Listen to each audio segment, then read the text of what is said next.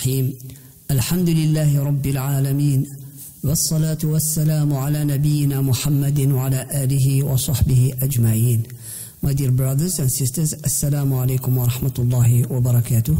This is your brother Abdul Salam Abu Hanifa. And today, bi'idhnillah, I am going to start a new series. This new series is about understanding Al-Quran. And I will start with the back parts of Al-Quran Al-Karim, of the book of Allah wa Ta'ala. Because a lot of people pray these days and recite the last surahs at the back of the Mus'haf of the Quran, and many unfortunately do not get the meaning of these uh, beautiful surah that a lot of people see it's they are short ones and thus they are convenient to pray with them. And I will start first to introduce the book of Allah wa ta'ala in its simplicity. I don't want to go into far deep details, but I just want to speak a little bit that will help us understand the mission of this beautiful gift from Allah wa ta'ala.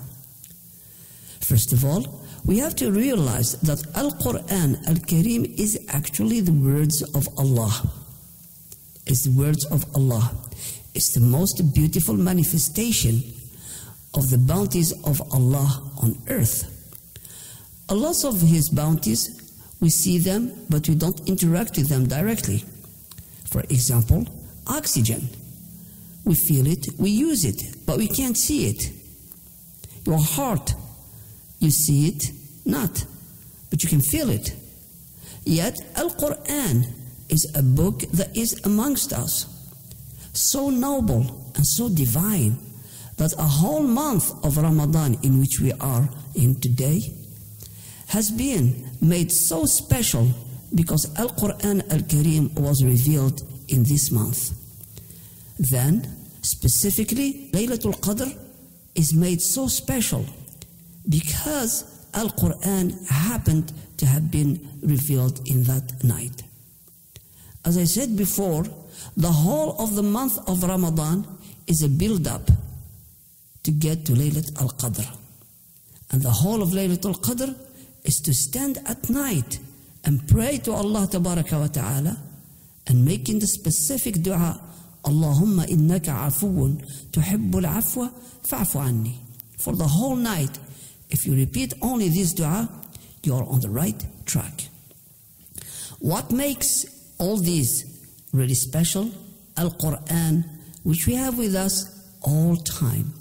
Look around you, there is a copy of your Mus'haf right beside you. All you have to do is take it in your hand, and bi'idhnillah, you are on a direct speech with Allah subhanahu wa ta'ala. But in a lot of circumstances, unfortunately, a lot of people do not understand the message of Al Quran. I am not referring here to the non Arabic speakers. I'm talking about the general Arabic public, or the Arabs in general. They understand the gist of a word, but they don't go behind the scenes to comprehend what it is that Allah wa ta'ala wants to tell us. But that is a subject, and I'm dealing with that in Arabic. But this talk is in English, and as such, I will speak about the English only speaking people. If you have been a Muslim for so many years, it is so, so wrong to be only a Muslim in English. And as I have said many times over and over and over, Islam was revealed in Arabic to the Sahaba radiallahu anhum, they took Islam to the other parts of the world wrapped up in Arabic. It was not an option for a Sahaba to take Islam to Al Iraq, for example, or to Iran, or Lebanon, or Syria, Egypt, Libya, Tunisia, Algeria, Morocco, Mauritania, Sudan, Nigeria, and all these lands where a Sahaba have been, they took Al Quran, Al Islam in Arabic. Al Iraq speaks Arabic now. Syria speaks Arabic. Egypt speaks Arabic.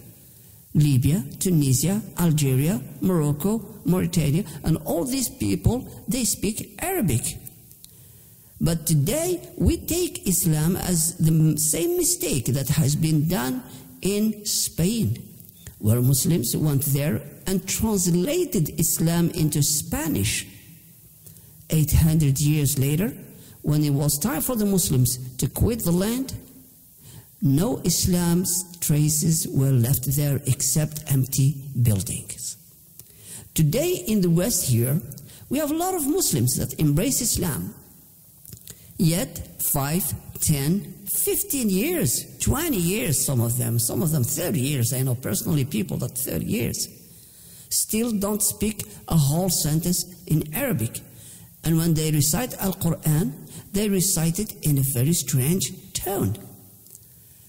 On the controversy of this, or on the other side of this, I have seen many, many students that come from the Gulf that don't speak a word English.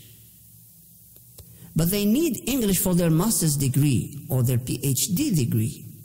And they do one year of intensive classes, courses in English. They spend a lot of money. They buy a lot of books.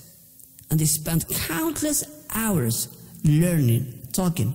Some of them go to the extreme of living or living with English families to learn English. But when it comes to Arabic, everybody becomes lazy.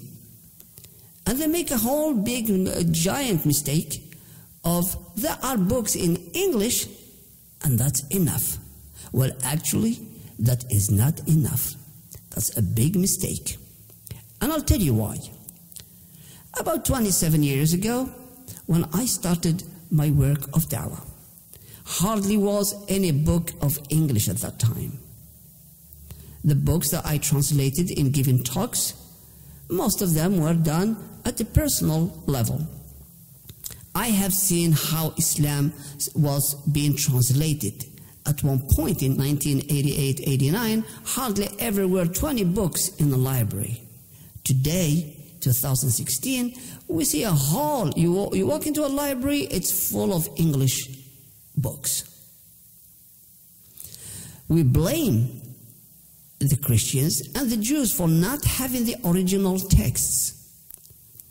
And they only rely in, on translations of the texts King James Version, we say, is different English than this and that. Yet, we find that we are making the same big, huge mistake. We take one ayah from the Quran, which we wrongly call verse.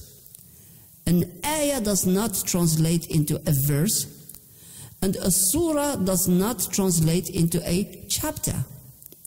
In Arabic, every word has got a meaning. Every word has got a meaning. So we take a book or an ayah and then we translate the meaning of to English. Then we start becoming more intelligent and we start working on to refine the translation to make it sound like it's Al Quran. And it's never is Al Quran. And today I see a lot of people, they read the English translation of the meanings or one of the meanings, and they think they are reading Al Quran. From time to time, or now it's becoming more frequent, where I hear a lot of people say, Allah says in Al Quran, whoever kills a soul, it is as if he has killed all humanity. Al Baqarah, chapter Al Baqarah, verse this and that. And this is a big, huge lie. To the English speaking person out there, to the French speaking person out there, to the Italian speaking person out there, they don't see that the Quran is in Arabic. They will see it, it is in English or French or Italian. And then they will think of Al Quran just like they would think of the Bible. The Bible, we have so many different versions, and so does Al Quran. And one day in the argument, when Quran in Arabic is no longer available, people will stand up to the others and they say, hey, You are making fun of us and you say that we don't have the original text. Hey, where, is, where are the original texts of Islam? And somebody will present a book written in some funny calligraphy, and that calligraphy just happens to be Arabic. And there'll be nobody at all that can read that and will be just equivalent to the Christians and the Jews. Here today, I am not translating the meanings of the Quran. I am not going to give you the closest version to the meanings of the Quran because that is impossible. If the Arabs, the challenge of Allah Ta'ala in Al Quran, in the meaning of that وإن كنتم في ريب مما نزلنا على عبدنا فأتوا بصورة من مثله ثم ادعوا شهداءكم And if you are in doubt that we have revealed this Quran unto our ultimate worshipper, bring in a copy like that of, and bring your witnesses and people that will testify and back you that it is a Quran. So when we make a translation into English, we actually are trying to get a copy of the meanings of the Quran, and we can never do that. We have to wake up to the reality that Quran is in Arabic, Quran and Arabic and Mubin. And learning Arabic is easy. Look at me today how I speak English. When I left my homeland, I didn't speak English like I do today. I have seen people come to this country. They don't speak a word of English. But because they needed benefit, in six months' time, they could go to the council and they could call the tax department to ask about the child benefit and family credit, and God knows what other credits are there. Six months, it all it take them to learn. And now, Alhamdulillah, I see old people come to this land in England, and in no time they learn English. My question is, why not you? Until when are you going to rely on Allah says, the Prophet says, and then you go and wing something in English? Knowing that it is a grave sin.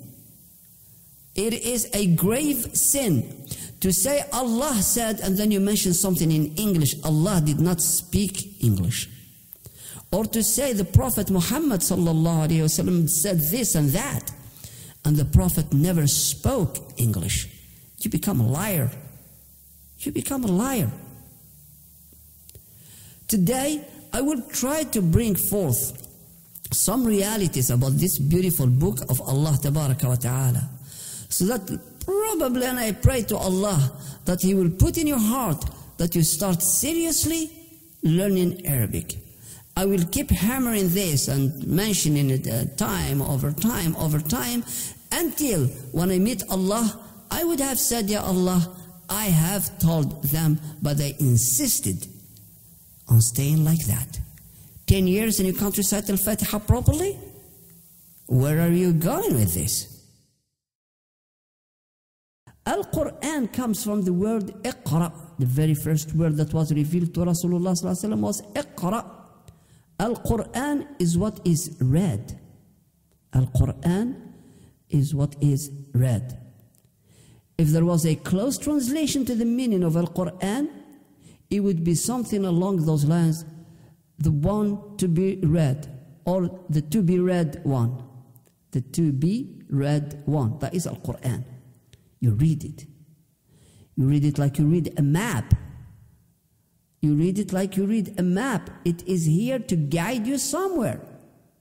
It to take you somewhere. So you want to read Al Quran as you would read a map.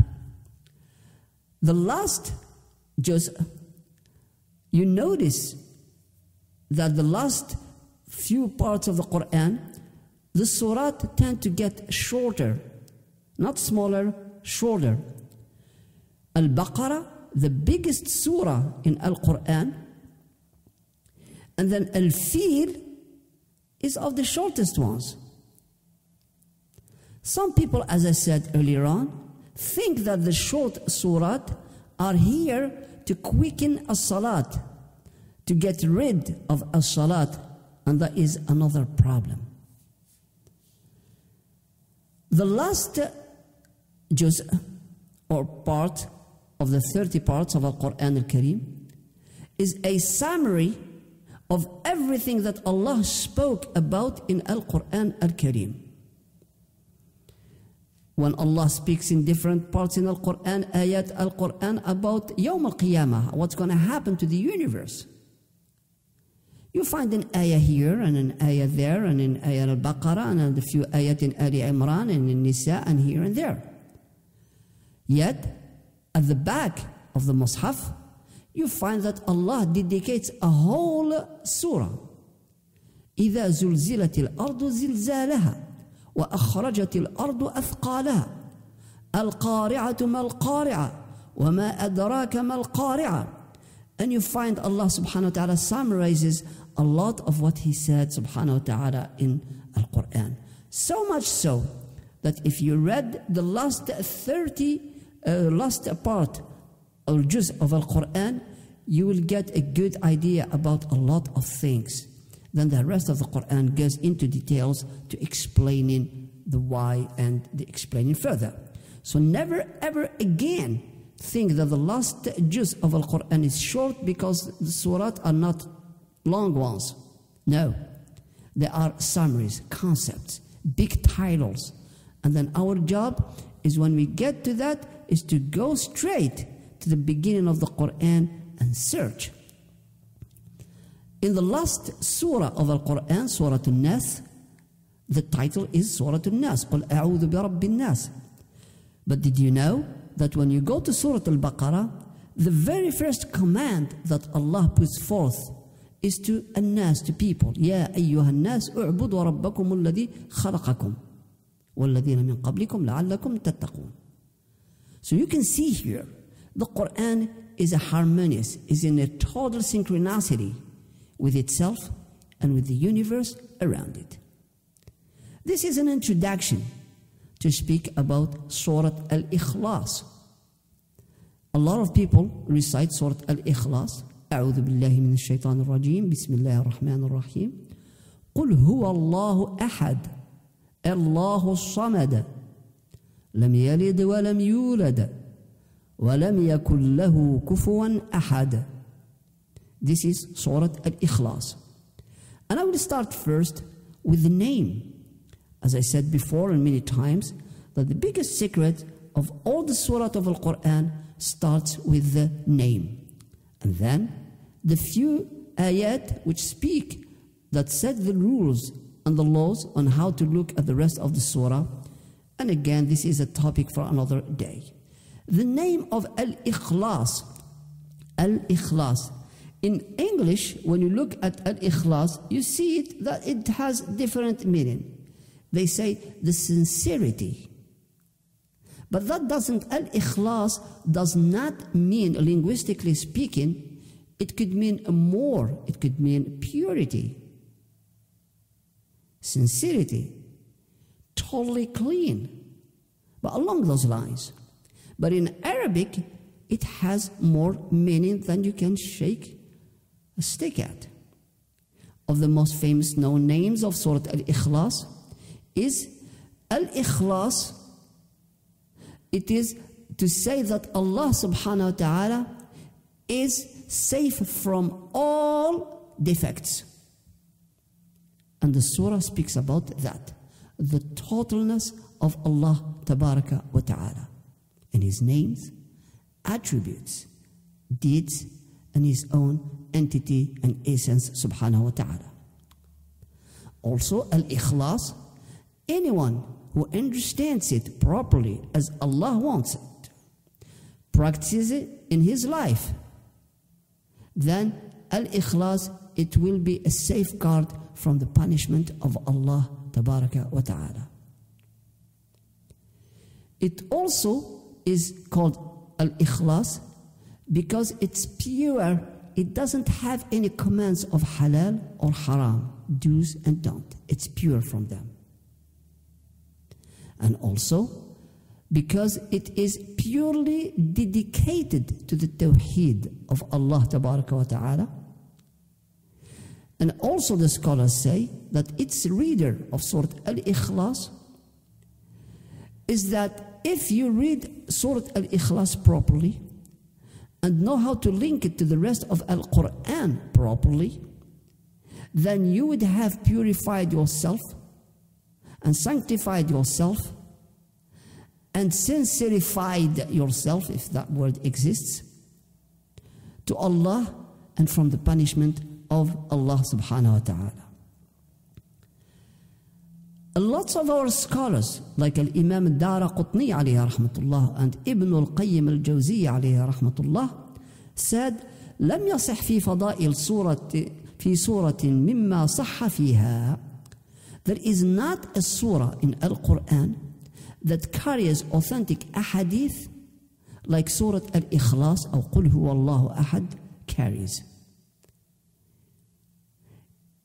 If you and I were to write a profile or profile about ourselves, we would say a lot of things. Where you studied, graduated, your lineage, uh, your uh, proficiency, what you are good at, and things like that.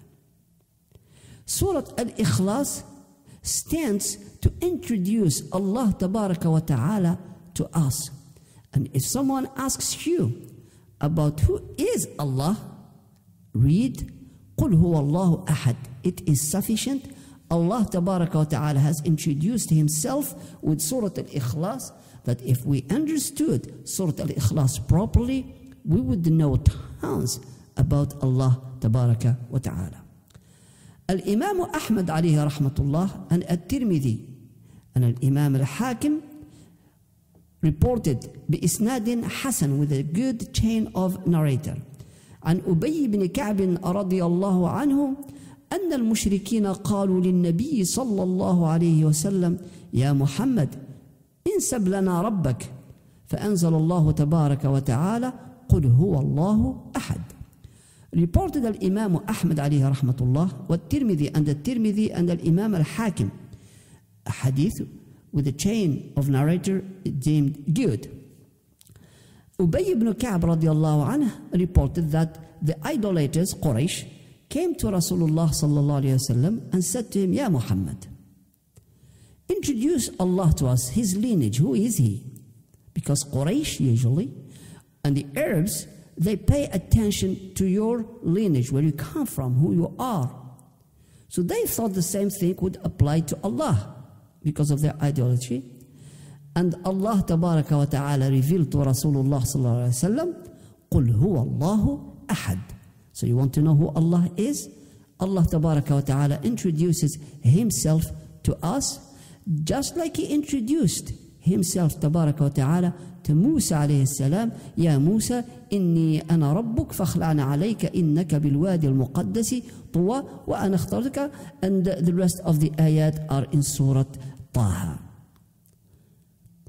If one day you want to praise Allah, say good things about Allah, describe Allah, and you run out of words, our scholars say, recite قل هو الله أحد as is reported in As-Sahihain, Al-Bukhari and Muslim, by our mother Aisha radiallahu anha, أن النبي صلى الله عليه وسلم بعث رجلا في سرية فكان يقرأ لأصحابه في صلاتهم فيختم بقل هو الله أحد فلما رجعوا ذكروا ذلك للنبي صلى الله عليه وسلم فقال سلوه لأي شيء يصنع ذلك فسألوه فقال لأنها صفة الرحمن وأنا أحب أن أقرأ بها فقال النبي صلى الله عليه وسلم أخبروه أن الله يحبه البخاري ومسلم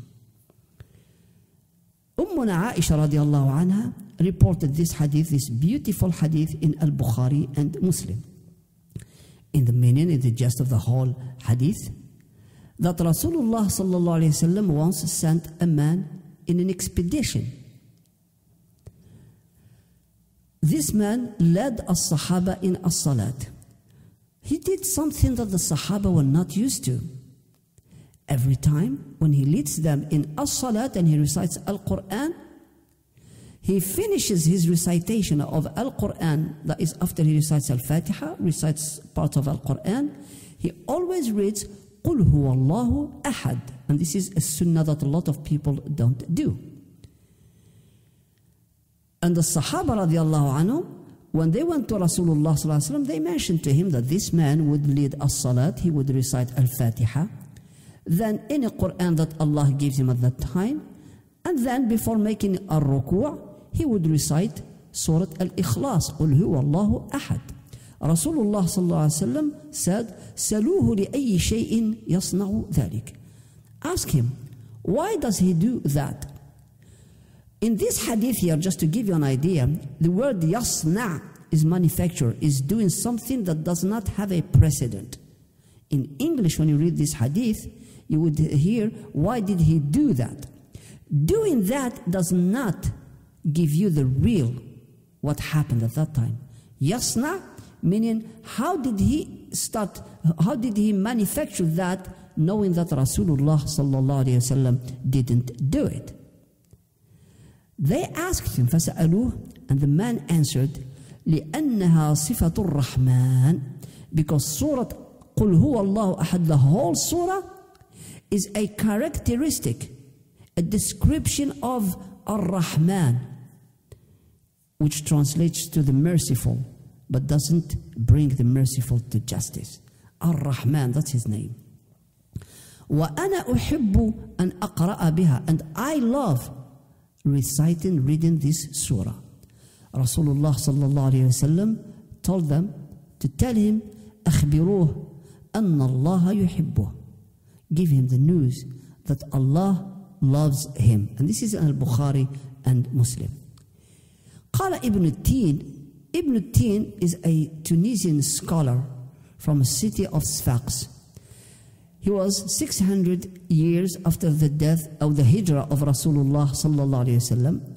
And Sfax is a city in Tunisia, about 168 miles southeast of the capital Tunis, or about 270 kilometers southeast of Tunis. And he was of the best and the first to have explained Sahih al-Bukhari alayhi rahmatullah. المخبر الفصيح في شرح البخاري الصحيح and he is a magnificent scholar even later on Ibn Hajar al-Asqalani alayhi rahmatullah has reported around 900 times from Ibn Atin but anyway this is just to introduce this great scholar and do him a little justice from the work he has done, alayhi rahmatullah. He's well known amongst the scholars, totally unknown to the Muslims, but he is not unknown to Allah. He said, وَقَوْلُهُ لِأَنَّهَا صِفَةُ الرَّحْمَنِ And he is saying that it is a characteristic of Ar-Rahman because in Surah Al-Ikhlas there are the names of Allah, His attributes, and the names of Allah subhanahu wa ta'ala are derived from His attributes. For example, a man strong is strong, that's a characteristic, an attribute. Then he is so much strong and so often strong that we start calling him the strong. Just like an artist. He did art once and he did it good. But he did it so many times once and so many times good that he became an artist. It became their name. The love of Qul Allahu Ahad will take its lover to Al Jannah. Al Bukhari and Muslim alayhi rahmatullah have reported that Rasulullah sallallahu alayhi wasallam had sent an expedition once. I will read the hadith in Arabic and then I will read it in English or the meaning of. عن أنس رضي الله عنه قال كان رجل من الأنصار يؤمهم في مسجد قباء في مسجد قباء.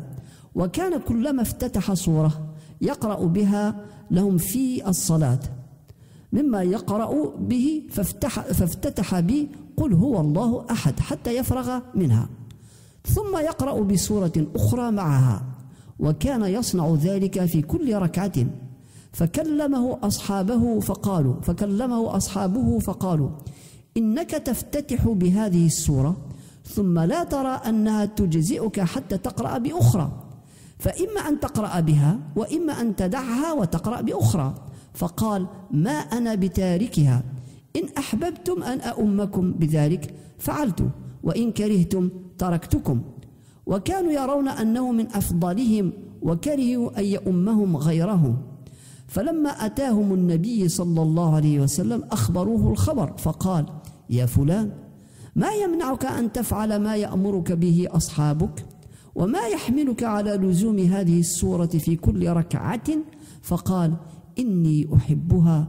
فقال صلى الله عليه وسلم حبك إياك إياها أدخلك الجنة.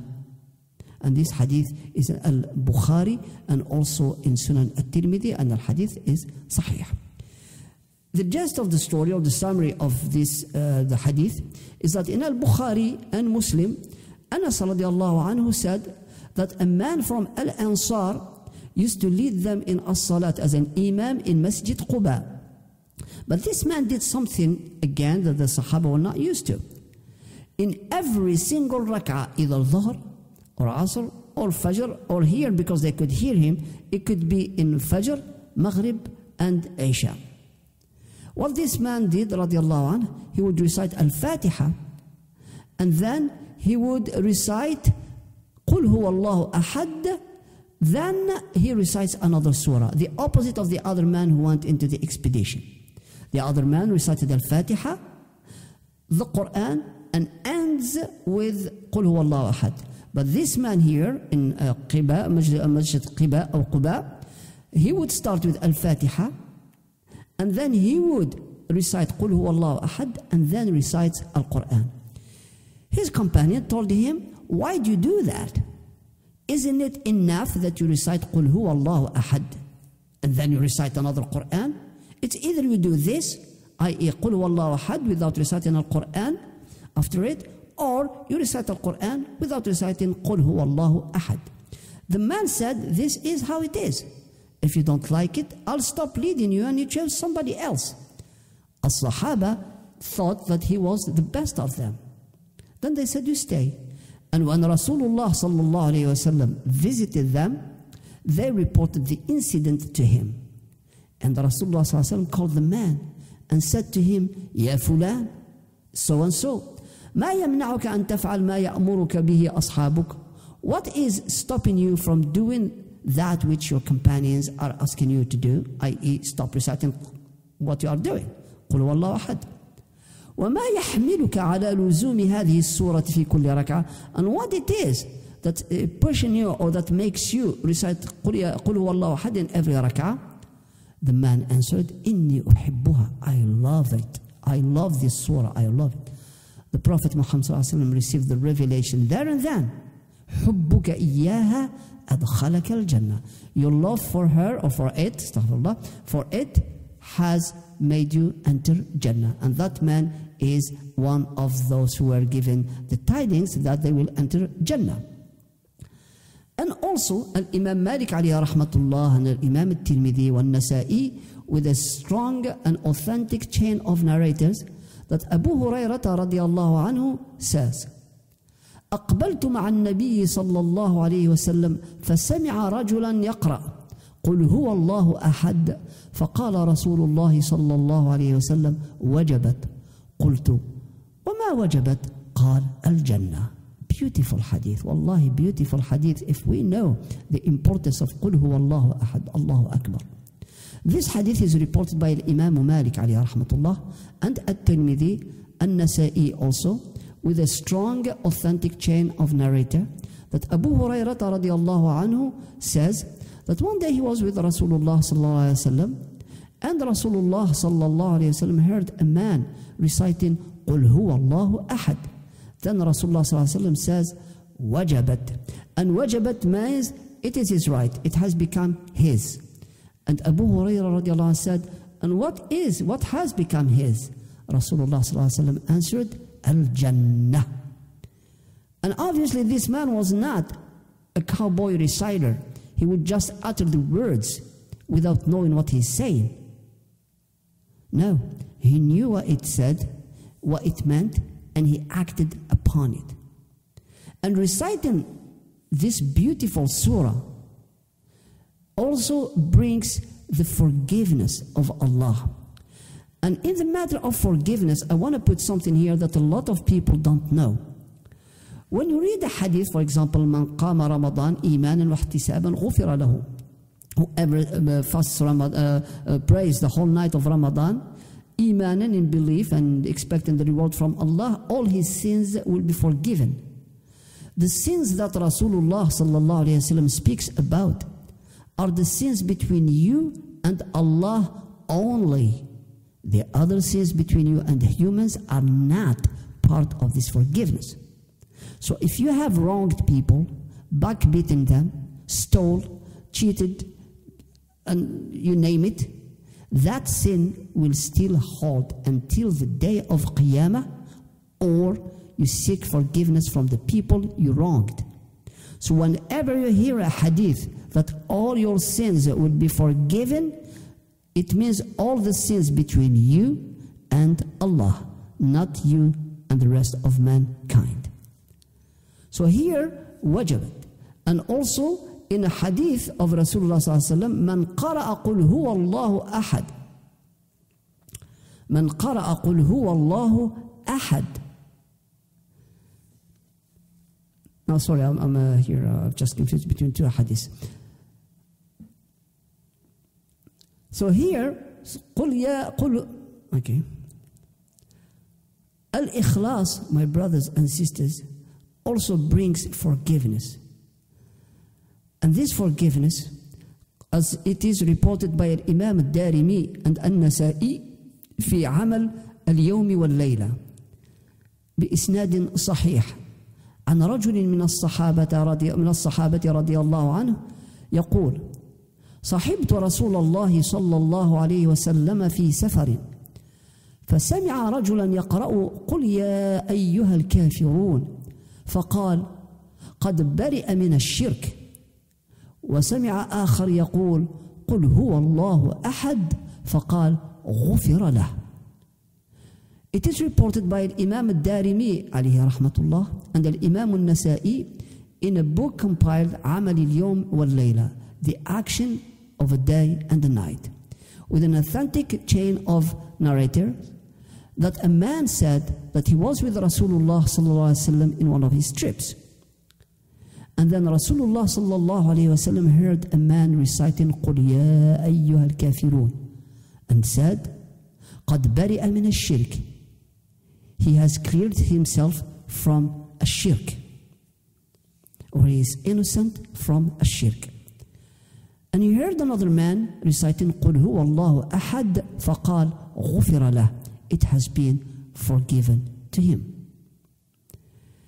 In another hadith by Imam Ahmad alayhi, by Imam Ahmad alayhi rahmatullah, with a good chain of narrator, عن معاذ بن أنس عن النبي صلى الله عليه وسلم قال من قرأ قل هو الله أحد حتى يختمها عشر مرات بنى الله له قصرا في الجنة الله أكبر الإمام أحمد عليه رحمة الله reported with a strong chain of narrators that Mu'adh ibn Anas radiallahu anhu said that Rasulullah sallallahu alayhi wasallam قال says من قرأ قل هو الله أحد in the translation he who reads قل هو الله أحد until he finishes it حتى يختمها عشر مرات ten times بنى الله له قصرا في الجنة Allah builds for him a castle in Al-Jannah my brothers there are many other ahadith and I will mention this one here because we all want our dua to be accepted. And here is a beautiful hadith reported in Kutub al-Sunan Mustadrak al-Hakim عليه رحمة الله بإسناد صحيح. عن عبد الله بن بريدة عن أبيه أن النبي صلى الله عليه وسلم قال أن النبي صلى الله عليه وسلم سمع رجلا يصلي يدعو يقول اللهم إني أسألك بأني أشهد أن لا إله إلا أنت الأحد الصمد الذي لم يلد ولم يولد ولم يكن له كفوا أحد. قال أي النبي صلى الله عليه وسلم والذي نفسي بيده لقد سأله باسمه الأعظم. والذي نفسي بيده لقد سأله باسمه الأعظم الذي إذا سئل به أعطى وإذا دعي به أجاب. وهذا الحديث أيها الأفاضل حديث رواه الإمام أبو داود والنسائي في سننه الكبرى والترمذي وابن ماجه والحاكم وابن حبان والحديث كما قلت أيها الإخوة الأفاضل حديث إسناده صحيح. الصحابة سبحان الله يتأولون القرآن يدعون بالقرآن يتقربون إلى الله بالقرآن. وأيضا وأختم بهذا ما رواه الإمام مسلم. My brothers, as Sahaba, they used to read the Quran and put it in action in their dua, in their actions, in everything they did.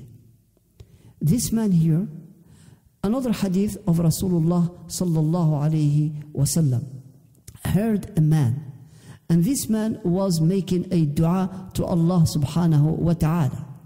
And this man said, Ya Allah, I ask you, Ya Allah, I ask you you are the one.